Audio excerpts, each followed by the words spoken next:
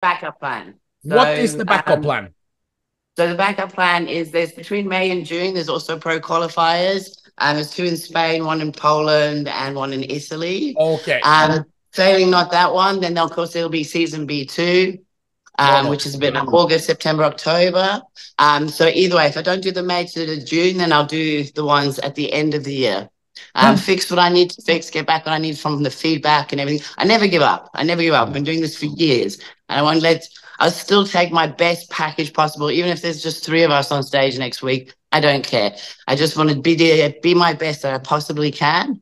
Um, you know, if I apply and they deny, that's fine. I'm not too fussed about that. It's just, um, it's not always about that trophy, although it's my biggest dream to get that pro card. I want to stand on a pro stage. I want to go to Olympia. yeah. I I won't stop working No, that's until that's like, maybe That's I why can that- just touch it. JB. Yeah. exactly. Yeah.